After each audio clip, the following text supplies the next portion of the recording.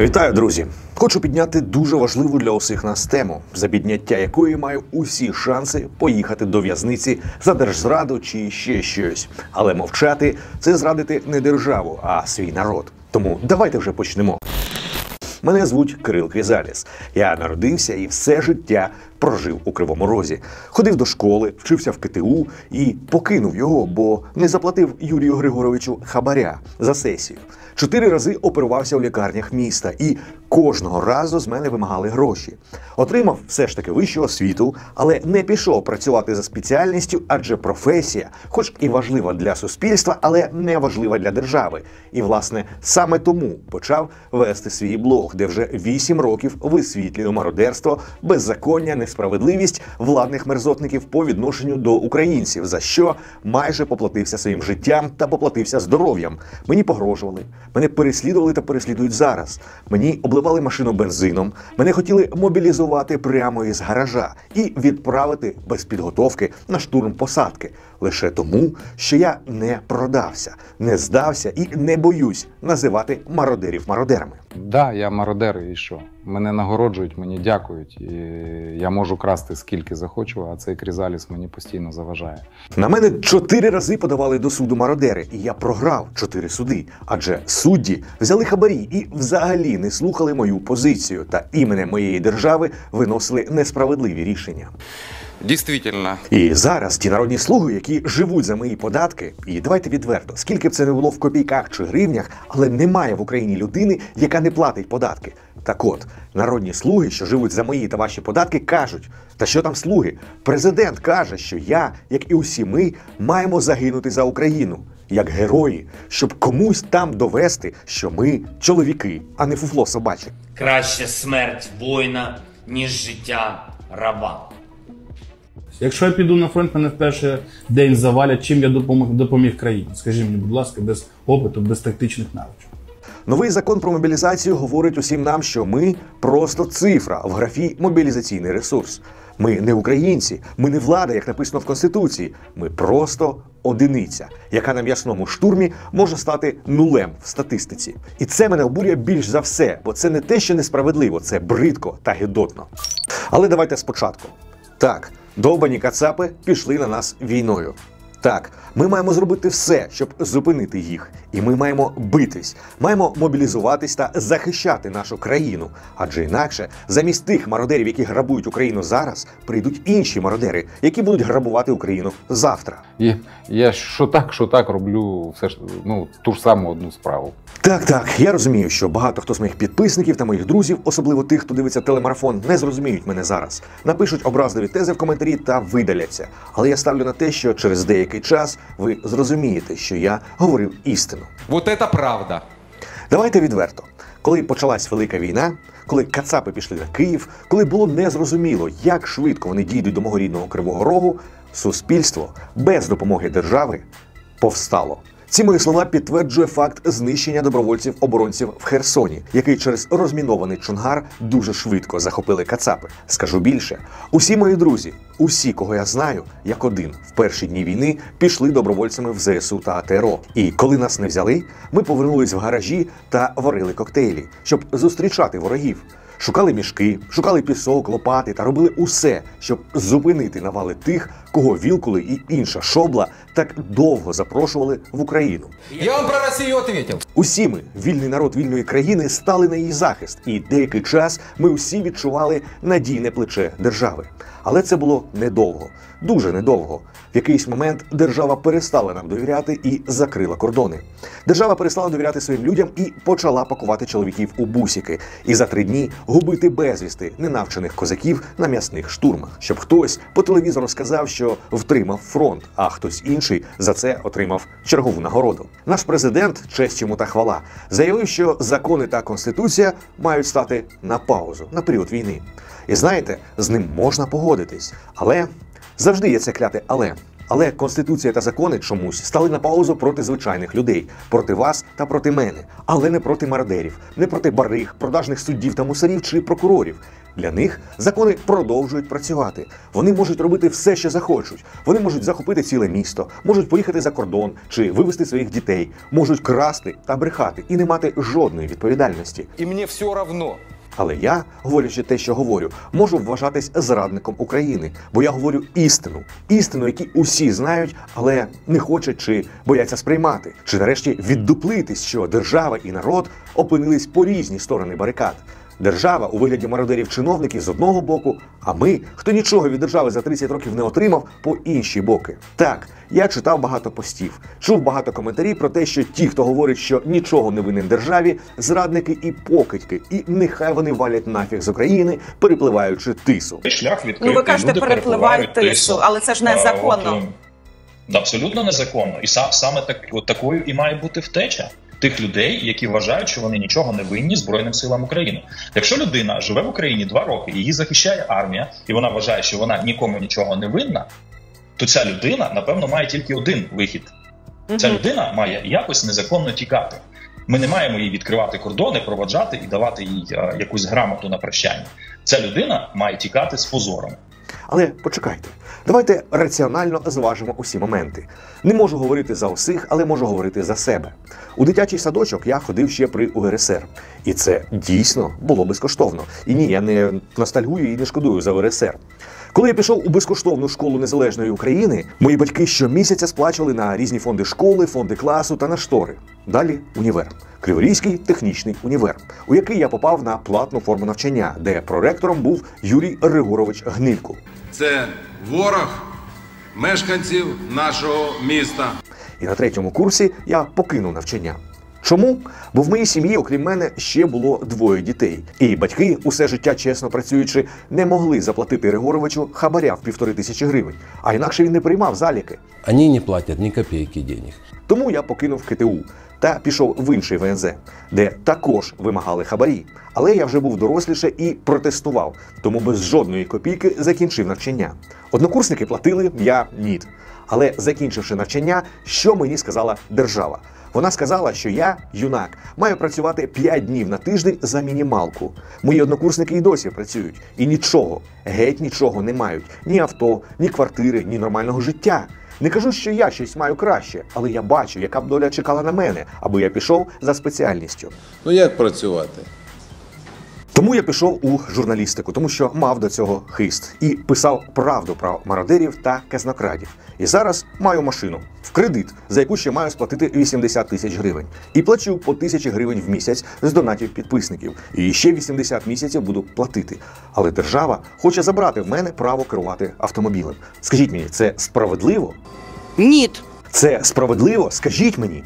Я плачу на страхування авто, плачу баригам за бензин, який в усьому світі дешевший, ніж в Україні. Їжджу по розбитим дорогам, на яких краде гнилькул та його кент рабин щороку півмільярди. Я та мої колеги-журналісти про це говорили тисячу разів. Як на це відреагувала держава? А ніяк. Мародери й досі там, де були.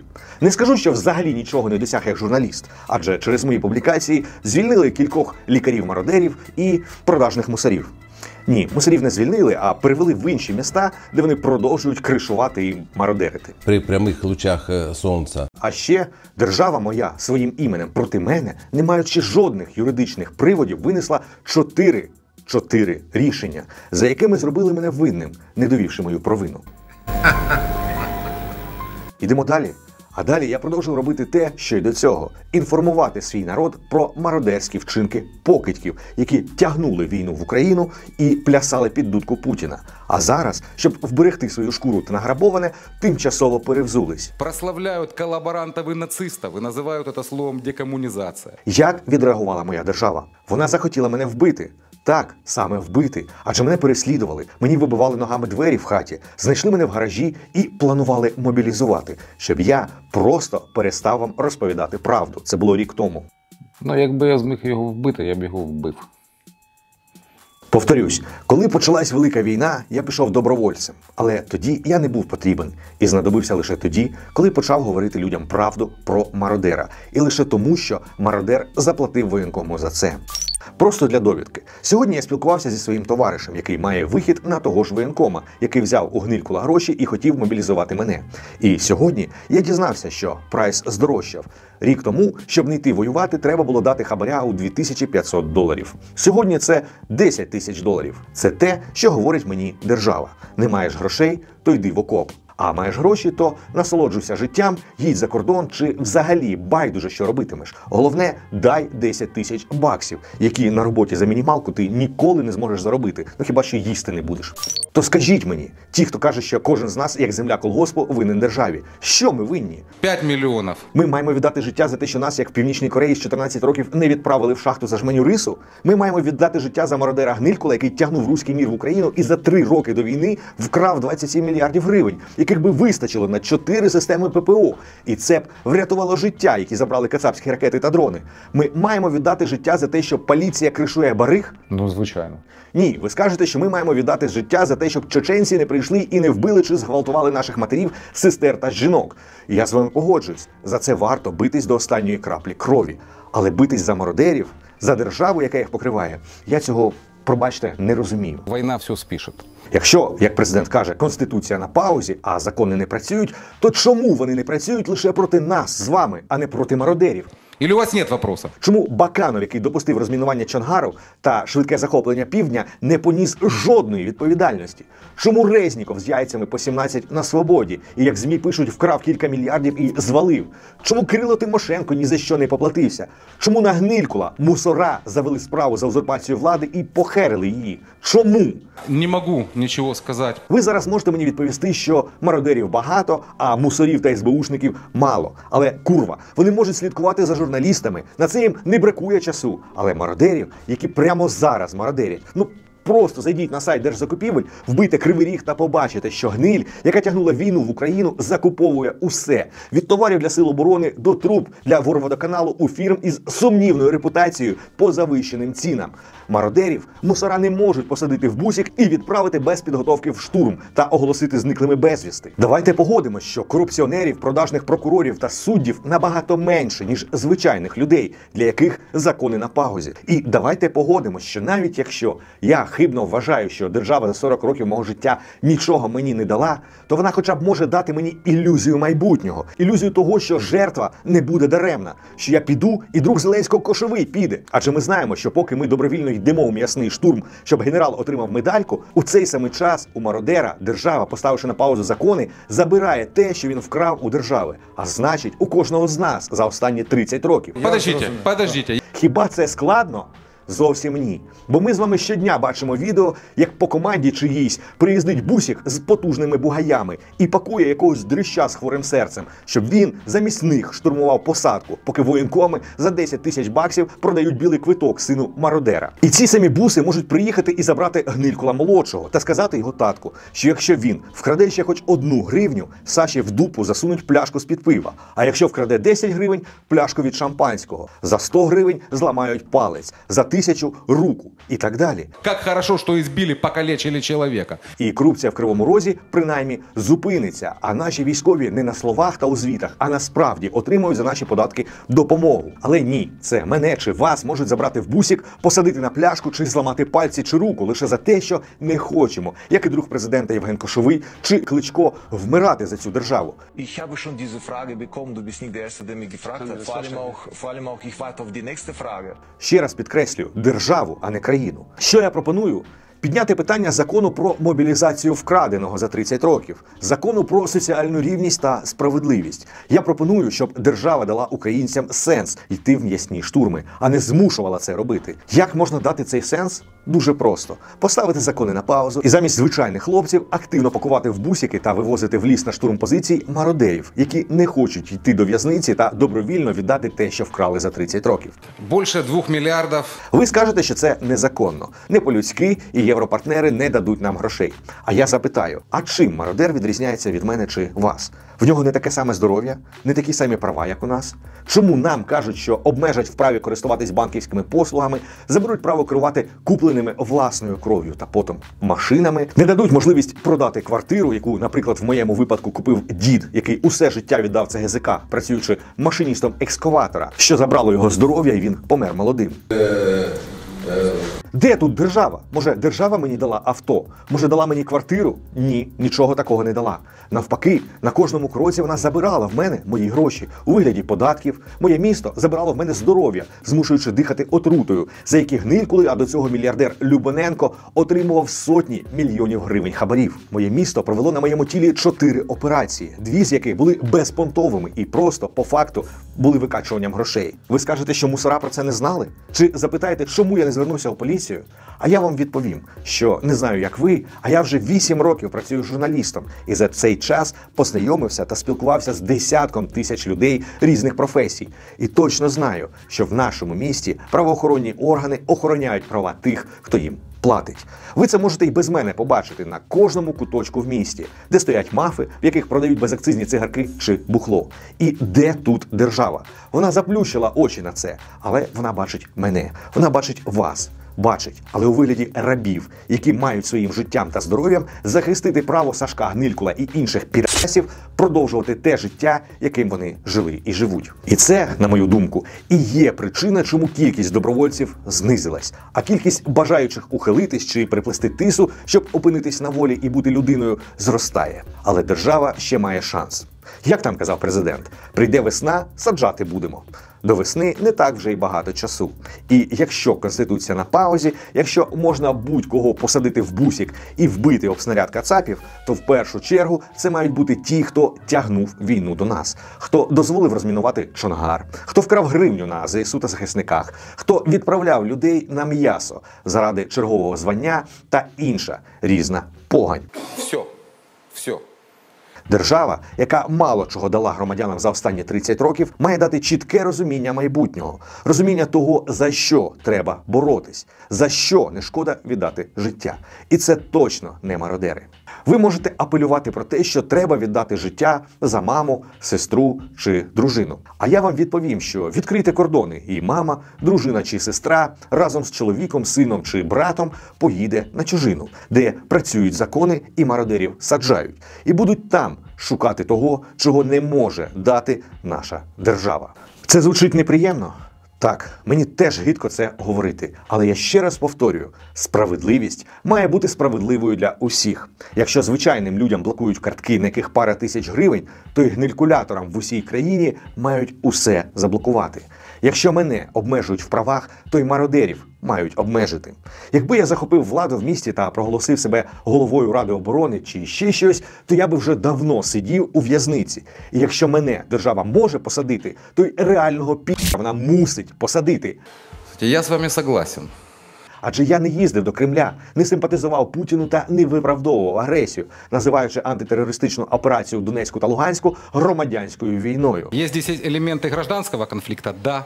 Держава має бути державою для усіх однаково, а не для обраних усе, а рабам смерть в окопах. Ще раз для майора і товариша судді, які розглядатимуть під мікроскопом мої слова. Я не виправдовую агресію та засуджую дії Рашистської Федерації. Я безмежно люблю Україну та переконаний, що за неї треба битись до останньої краплі крові. Я не агітую уникати мобілізації та не засуджую її, розуміючи її необхідність. Я лише проти того, що закони працюють проти бідних. Я проти того, що конституція на паузі, але не для мародерів. Я проти нерівності та проти несправедливості, але я на тисячу відсотків за Україну та українців. С бедными людьми и с вечной войной до последнего украинца. Слава Україні! Живіть довго та процвітайте. І дуже прошу, хоча на стрімі мені сказали, що це принизливо, я жалюгідний, бо же бракую. Але який в мене ще вибір? Дуже прошу підтримати мене підпискою, лайком, коментарем та донатом. Адже відчуваю, що після цього відео донати мені дуже знадобляться, як мінімум на послуги адвоката. Дякую вам, нескорені та достойні українці, і смерть ворогам, і тим, хто прийшов до нас війною, і тим, хто на ній мародерить. Гнилькуляка, я про тебе. І ні, я не погрожую, я не збираюся там тебе вбивати або якось фізично тобі щось робити. Просто я не бажаю тобі добра. І все. А все остальное такое, ну от цьому відео автор висловлює особисту думку, оцінюючи судження та все, що йому дозволено законом України за статтею 30 Конституції України та всім іншим законом і до закону. Ще раз повторюю, автор висловлює особисту думку.